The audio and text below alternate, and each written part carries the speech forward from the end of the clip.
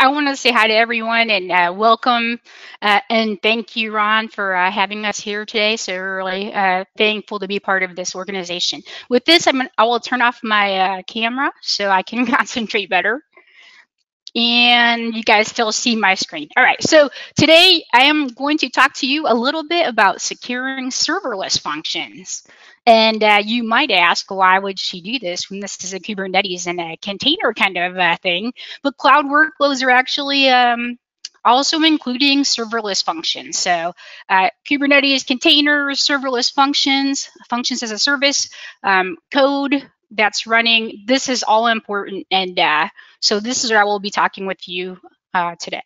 I'm uh, actually, uh, my name is Micki Boland. I'm a, an ar architect and evangelist with Check Point's Office of the CTO. Uh, I've been at Checkpoint for about seven years. I'm an old dog to security, old CISSP, and uh, do a lot of stuff with that Triple E. So your 20 minutes adventure begins now. Uh, we're actually going to talk about the four C's of cloud security. You guys already know this, but we're just going to touch on it uh, as a, a, level set. Uh, and then I want to talk about big picture and the concept of security as a, as code. So I want to see what you guys think about security as code and is it doable in your organization? Because in the spectrum of where customers are in terms of like uh, continuous integration, continuous development, they're they're across the spectrum. There are some customers that are super mature, and there are some uh, customers that have been doing DevOps for a long time and are super agile and, and actually doing like DevSecOps. So I'll talk about that. And then we're going to tour CloudGuard native uh, serverless security. So if you're not protecting your cloud workloads, then look right here. You better have an MIB neuralizer for business and a good story.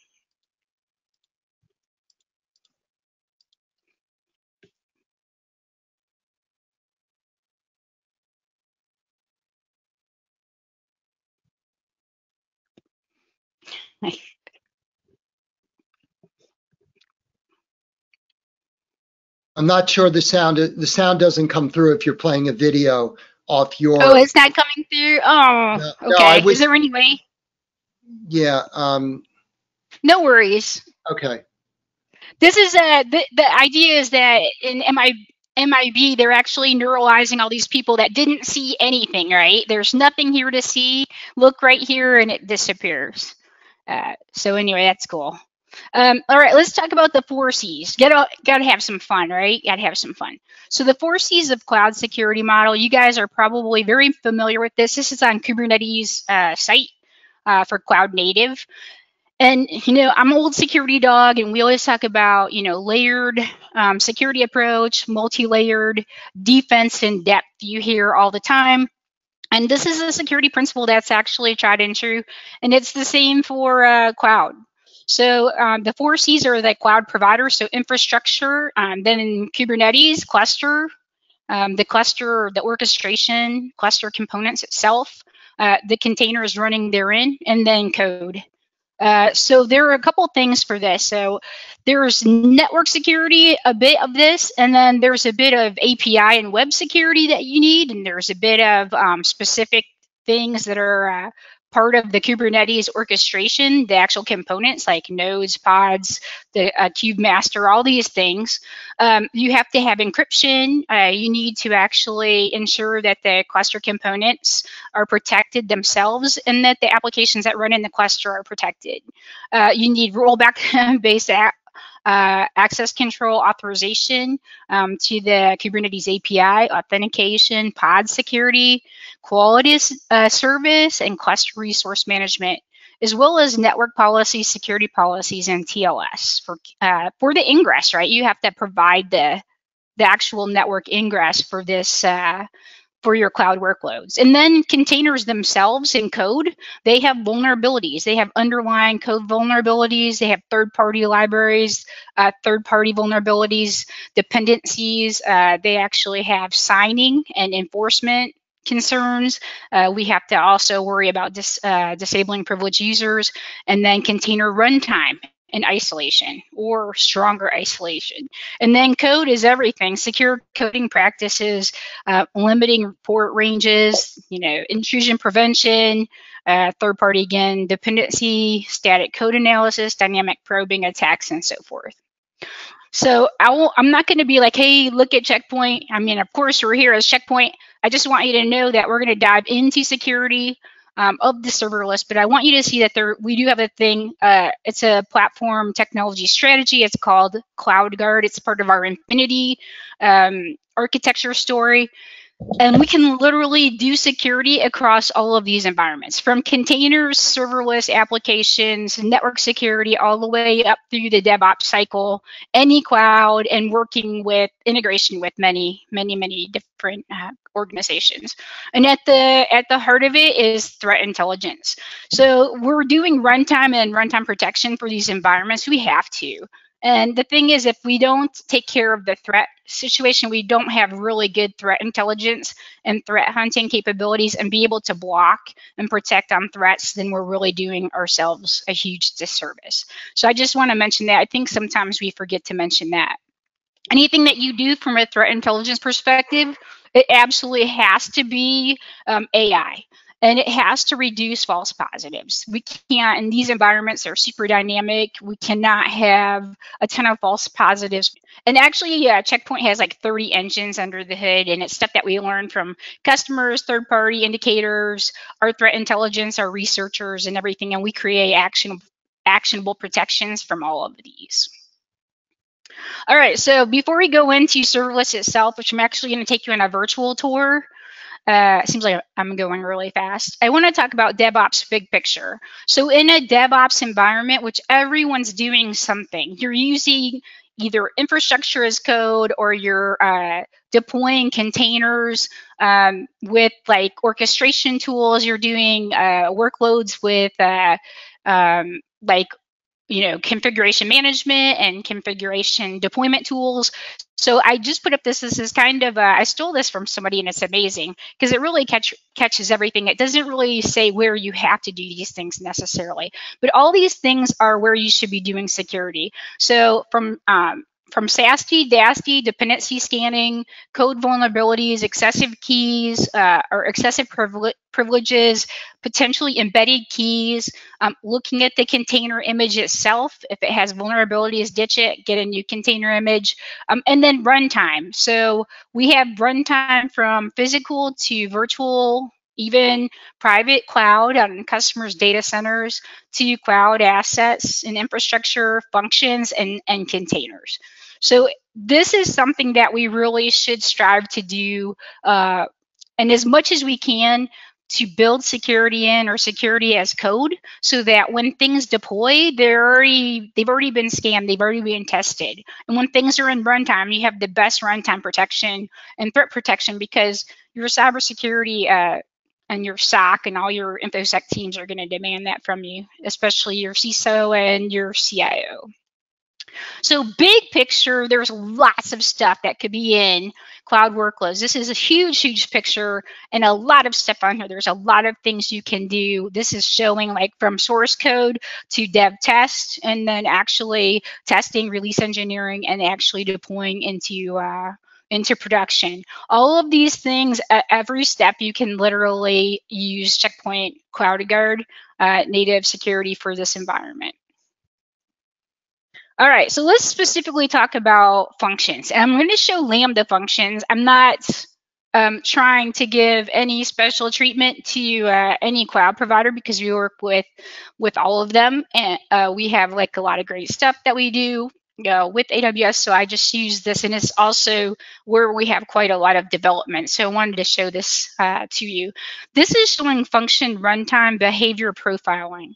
So it's something that Check Point can do with our CloudGuard native. We actually can deploy a uh, function as a service or a code, security as code, that basically runs with your your Lambda functions. It actually assesses the Lambda function and it forms a baseline about the function and not just the function itself, but the function as a part of a cloud workload. So there's an upstream trigger, there's uh, there are other things happening when the Lambda is spawned and invocated, and then the Lambda talks to different things. It might write to S3 bucket or grab something. It might actually uh, be sending data to Kinesis, metadata. So there's lots of things it can be doing. And in this case, it just shows that we're profiling the Lambda function as it runs.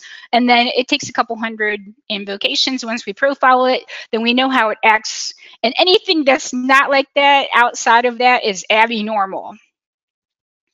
The other thing we can do is actually do active blocking. So we can block threats and we can actually create, I hate to say it, but old school firewall rules. So you can actually put guardrails on your Lambda function. And I'll show you in just a second. Uh, this is, you can allow certain things to communicate only over certain ports. Um, and this is like uh, actually kind of doing firewall firewall on a stick, if you will, but it's security uh, as, a, as code. And then last but not least, before we dig into it, we can actually run um, static code analysis. So we can actually assess the function and all of its identity and access management, its, its role, its policy, its its permissions, and all of the things that are in situ with that um, lambda function. So things that are happening before the trigger and things that are that it that are communicating after API calls. We can actually look at the whole thing in context and see if there's excessive permissions. We can identify that there are excessive permissions uh, or there are embedded secrets, which is, uh, is, is very important. And we can actually we recommend uh, a better policy. And it's all JSON, so you can literally copy and paste. All right, I have about seven minutes, so now I want to just show you a, a demo. This is a YouTube video. You can actually go out and get it. I'm going to run it from here just to uh, preserve in case uh, the env environment would hose up. But this is the CloudGuard native platform, and this is the home dashboard, basically showing you uh, all of the things that you can do. And we do everything from containers to Kubernetes to functions, um, fat fat compute, uh, S3 buckets, every cloud asset we can ba basically assess from a compliance perspective, and we can also uh, do threat threat protection. And this is showing the workloads dashboard and the serverless functions. So I have a serverless function called Great Reads. It's a Slack chatbot. And basically, it's a Lambda function. Uh, you can see where it's located in, in uh, AWS US East 1. Um, there are tabs here, and it shows you that you can look at the uh, function, you can actually do network security, runtime protection, uh, rules and exclusions, and you can view the entity, you can look at the policies. So this actual function is running and we've assessed it and baselined it. And here is another important part. A lot of the people that actually need to see this stuff, they don't know what this workload is necessarily, but they need to see the security components of it.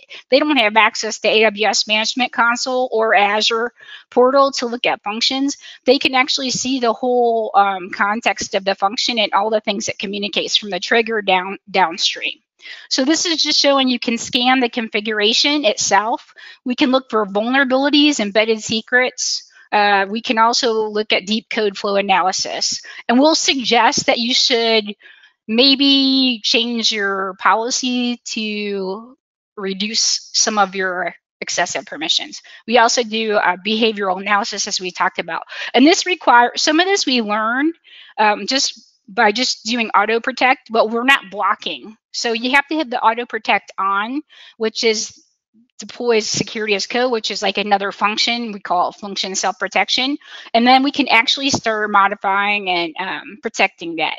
So especially on malicious uh, workloads, what, what you have to worry about uh, when these guys are in runtime is injection, API attacks, uh, DDoS attacks, um, intrusion type attacks. So you can see that we have some findings that are, uh, we have a posture score to improve. We have some findings from a compliance perspective, we have a permissive role. So there's a suggestion for uh, uh, to actually fix this per excessively permissive role. Well, I can get a sip of coffee now for a second. I think I made my video too uh, too fast. So you can actually copy and paste this. Now, everybody that I work with that they onboard, I have customers that are doing entire serverless. They like they were born in the cloud. They're all serverless. Uh, and they were like, well, you know, we are developing, so we can talk to each other and we know what we're doing, and we can say we can assess that this is actually excessive permissions. Like I have, I can do anything with an S3 bucket. I probably shouldn't. There's some things I can scope. In huge organizations where there's different dev teams from security, and there's not a security dev, or they're just starting now on DevSecOps, we really have to have the teams communicate with each other and actually talk about this. What are the findings? Does it make sense to actually uh, fix or you know maybe restrain the the policy?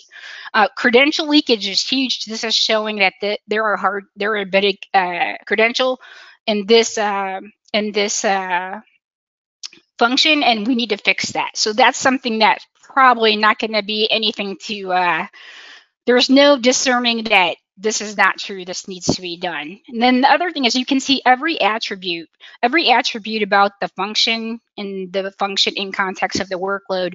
We can actually see that uh, entire context and all the attributes that we uh, pull from, uh, from the cloud environment. And this is showing there's a vulnerability. So this is like a Node.js um, so serialization, a serialized package uh, for Node.js, untrusted data passing through. So having vulnerabilities too, a lot of companies, they're still chasing vulnerability management and they do have to actually uh, correct those vulnerabilities.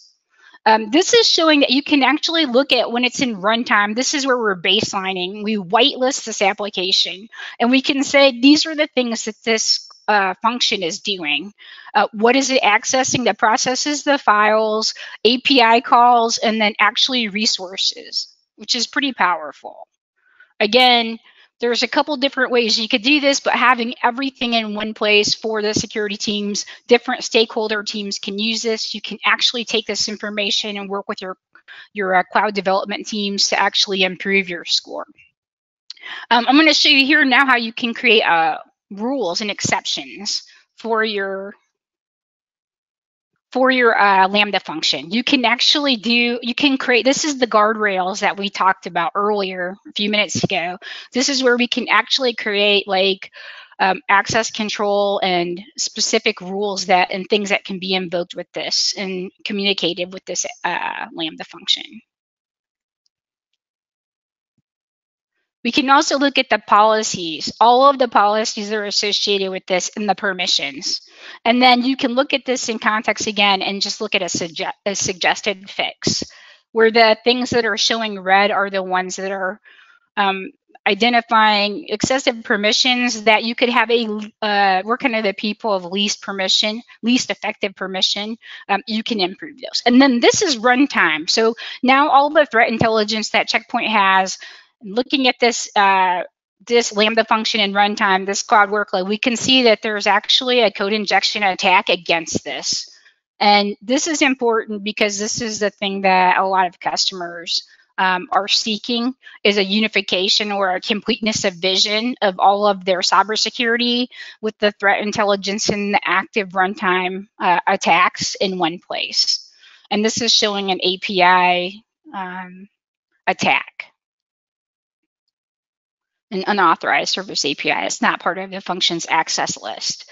So these are really good things for the cyber teams and the SOC teams uh, that are within the organization. And if you're doing DevSecOps, would you just make my heart sing if I hear that you're doing it because this is what we're trying to get to with security as code. Security deploys with your code and runs with your code, and all the different stakeholders, even though they have various um, missions, they actually have one singular mission, which is to protect the organization and uh, protect uh, from security events and exposure and risk um, of the risk of exposure um, and heavy, heavy uh, actual um, attacks, which is which is really the thing that most customers struggle with is that they uh, they have different teams working at at different things and they don't have visibility across the board. So in this, I'm just showing. I think I have like one minute. So with this, I'm just um, showing that. Yeah, we should finish up right now, Micki. About yeah, 30. Okay. All right, cool. So last but not least is just showing the actual Traffic Explorer with the malicious uh, Lambda function that's running, and you can see all the logging associated with it. So with that, uh, I'll pause this, and I just want to say thank you. Huge well, thank you. It was fast and uh, extremely fun.